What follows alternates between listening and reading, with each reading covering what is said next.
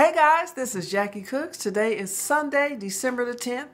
15 more days till Christmas. Are you ready?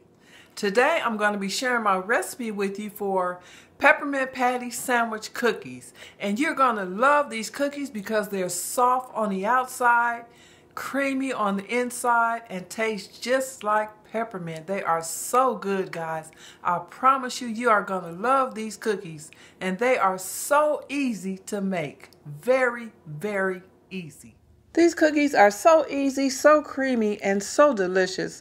If someone called you at the last minute to go to a Christmas party at someone's home, to an office Christmas party, you'd be like, no problem. We're going to start off by using the Devil's Food Cake Mix. We're going to pour all our mix in a large bowl.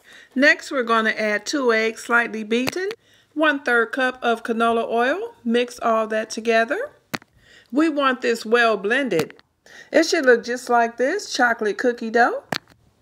We want to shape into one inch balls, place two inches apart on greased baking sheet.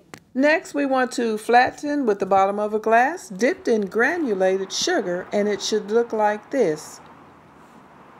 We're going to bake these at 350 for about 7 to 9 minutes and we're going to cool them on our cooling rack for about 2 minutes. Now while these cookies are chilling, we're going to go ahead and make our filling. My house smells amazing.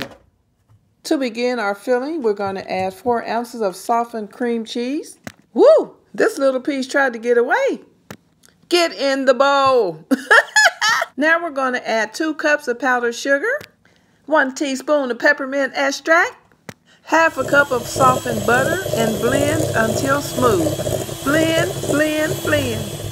I love peppermint and it smells just like peppermint. Gotta do a taste test, guys. Mmm. At this time, we're just going to fill our cookies any way you want to. You could do one at a time. You could do five at a time. You can make your filling thick or you can make your filling thin. And since it is Christmas time, you can add food coloring or crushed candy cane into the filling. But these cookies are absolutely delicious and very easy. I told you. Quick, guys. I'm in love with this recipe. And now for the moment of truth. Mmm. I want to thank you for taking the time out to watch this video. And if you will be so kind to comment below and tell me what your favorite cookie is. That might be my next cookie I make. Till the next video, bye. I want to say thank you to all my subscribers. Thank you for your support and I love you so much.